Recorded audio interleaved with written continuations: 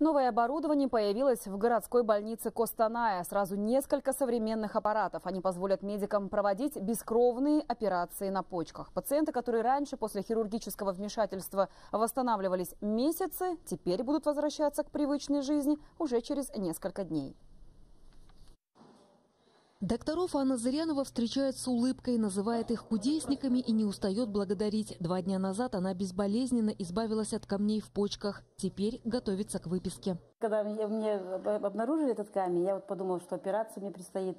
Страх, боль, вот этот резать будут, кровь, швы. Благодаря этому препарату без наркоза, без боли утоляющий, так, не больно. Ни швов, ни крови.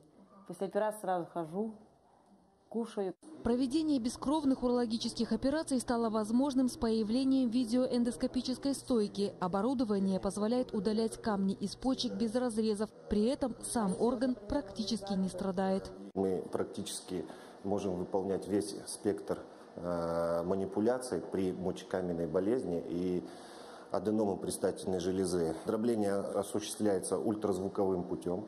Вот. Э, смысл этой процедуры э, из большого камня сделать мелкие камни, то есть раздробить их на фрагменты, которые через естественные мочевые пути выходят самостоятельно. Оборудование, о котором медики раньше только мечтали, в городской больнице появляется с завидной регулярностью. За последние два года купили четыре аппарата. Оборудование приобретено в рамках медицинского лизинга. На сегодняшний день э, успешно реализовали три проекта вот, медицинское оборудование работает, что в свою очередь позволяет оказывать медицинские услуги на уровне мировых стандартов.